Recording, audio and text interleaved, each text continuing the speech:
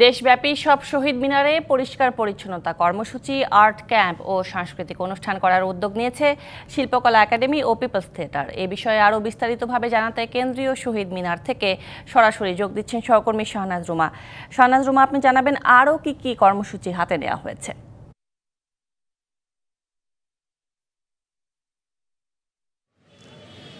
সুরভি, আপনি যে তিনটি কর্মসূচির কথা বললেন, অর্থাৎ সাংস্কৃতিক অনুষ্ঠান, পরিষ্কার পরিচ্ছন্নতা কর্মসূচি এবং চিত্রকলা প্রদর্শনী, মূলত এই তিনটি তাদের আয়োজন। এবং তার আগে একটু জানাই যে পিপলস থিয়েটারের কথা আপনি বলছিলেন, শিল্পকলা একাডেমির কথা বলছিলেন। এই দুটি সংগঠনের ব্যানারে নভেম্বরের মতো এই আয়োজন হচ্ছে।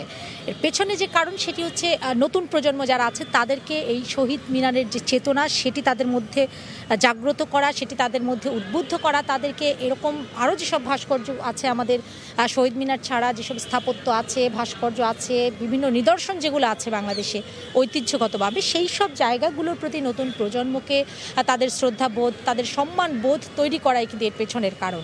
এবং আপনারা জানেন যে বিভিন্ন সময় আমরা সেটি বলি যে গণমাধ্যমে আমরা দেখি যে এই শহীদ মিনারকে বিশেষ করে এইরকম একটি জায়গাকে অসম্মান করা হয় বিভিন্ন সময় সেই রকম একটি জায়গায় যে অরক্ষিত অবস্থায় থাকে, সেই জায়গা থেকে আসলে এই কাজগুলো করা যে যাতে অন্তত বছরের অন্যান্য সময়গুলোতেও এই জায়গাগুলোকে অন্তত চর্চার মধ্যে রাখা, রক্ষিত অবস্থায় রাখা, সুরক্ষিত রাখার একটা চেষ্টা সেই জায়গা থেকে আসলে এই ধরনের উদ্যোগ নেওয়া হয়েছে।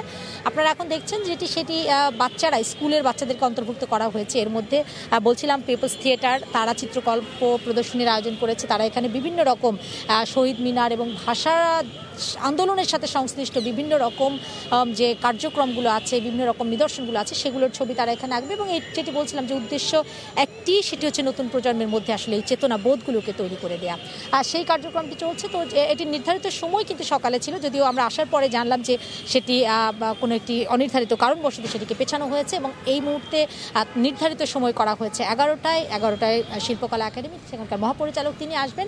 আনুষ্ঠানিকভাবে এই কার্যক্রমের উদ্বোধন করবেন এবং আজকে দিনভর এই কার্যক্রমটি চলবে। শুরু জি, আনুষ্ঠানিকভাবে উদ্বোধন হলে সেই তথ্য নিশ্চয় জানব আপনার কাছ থেকে।